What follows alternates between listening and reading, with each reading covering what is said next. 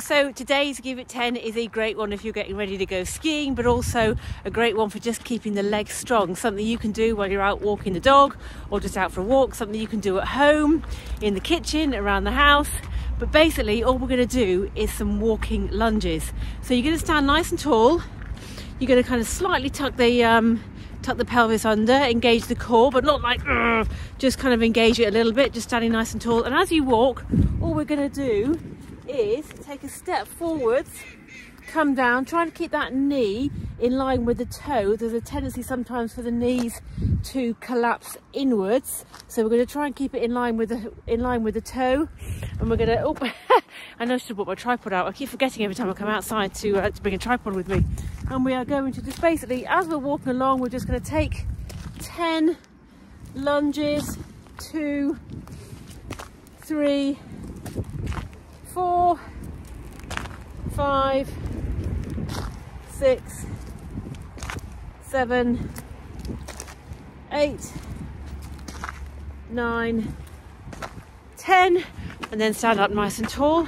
And you can walk for a few minutes and then do another 10, and then walk for a few minutes more and then do another 10.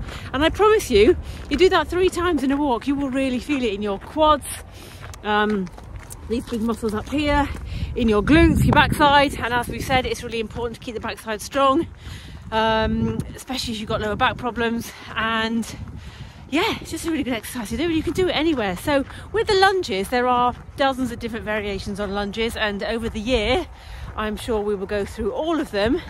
But you don't have to be sort of, this is what's called a dynamic lunge when you're kind of doing the lunges as you're walking along so you're kind of dynamically moving forwards, but of course you can just stay stationary and just do one at a time there. But really think about your posture when you're doing this, standing nice and tall. As I said, engage the core slightly, tuck the hips under slightly, but not like massively. And um, well, the dog's the dog's about to attack the the, the, the ducks. Um, and think about what that knee's doing. So try and keep that knee tracking in line with the toes. It doesn't matter if it goes beyond the toes, but just try and keep the knee in line with the toes. Uh, and I think that's it for, for me for today. I would love to hear from you if you've been doing any of these Give It 10s. I'd love to hear from you if you've been inspired to get some Give It 10s into your day, whether you're doing a Give It 1 or a Give It 10. Um, but don't forget, these are designed, Give It 10s.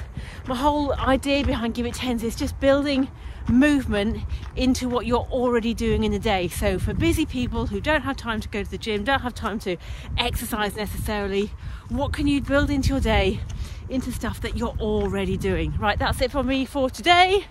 I will see you again tomorrow for another Give It 10. Take care. Cheers.